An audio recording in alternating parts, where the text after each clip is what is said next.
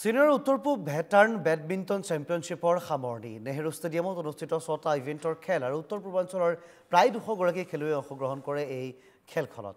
সামৰণি অনুষ্ঠানত উপস্থিত থাকে মন্ত্ৰী পীযুষ হাজৰিকা বিধায়ক দিগন্ত কলিতা। উপস্থিত I G P Partha Sarathi Mahanta B C C আইৰ যুটীয়া সম্পাদক দেৱজিৎ শইকীয়া। আৰু এই খেলখনক লৈ সকলোৱে এনেধৰণে আনন্দ মনেৰে উপভোগ কৰা পৰিলক্ষিত হয়।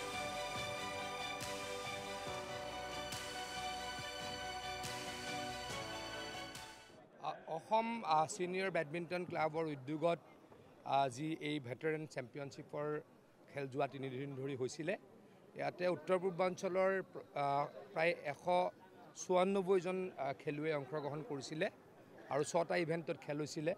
খুব সুন্দৰ পৰিৱেশ এটাত খেল চালোঁ আৰু সুন্দৰকৈ আমাৰ অৰ্গেনাইজাৰসকলে বিশেষকৈ প্ৰদীপ কুমাৰ ডাঙৰীয়া দিগন্ত কলিতা ডাঙৰীয়া পাৰ্থ সাৰথী মহন্ত ডাঙৰীয়াহঁতে খুব ভালদৰে অৰ্গেনাইজ কৰিছে আৰু গোটেই উত্তৰ পূৰ্বাঞ্চলৰ পৰা প্লেয়াৰসকল আহিছে। আৰু আগতে কলিকতাৰ পৰা আহিছিলে অহাবাৰো হয়তো আহিব আৰু ডাঙৰকৈ হ'ব বুলি অৰ্গেনাইজাৰসকলে কোৱাত অত্যন্ত জানি সুখী হৈছোঁ। আমাৰ ছটা কেটেগৰী আছিলে ভেটেৰেন চেম্পিয়নশ্বিপ এইটো seventy five plus eighty five plus ninety five plus hundred and five plus and hundred fifteen plus আৰু মিক্সড ডাবলছ আছিলে এইটো টুৰ্ণামেণ্ট আজি শেষ হ'ব এতিয়া লাষ্ট ফাইনেল চলি আছে। আৰু পাঁচটা ফাইনেল অলৰেডি হৈ গ'ল